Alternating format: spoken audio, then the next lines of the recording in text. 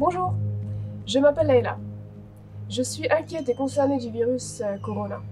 Ce virus se propage très vite et de nombreuses personnes meurent. Je vous demande du plus profond de mon cœur, restez chez vous, restez à l'écart des gens et lavez-vous les mains. On peut combattre ce virus ensemble et sauver des vies.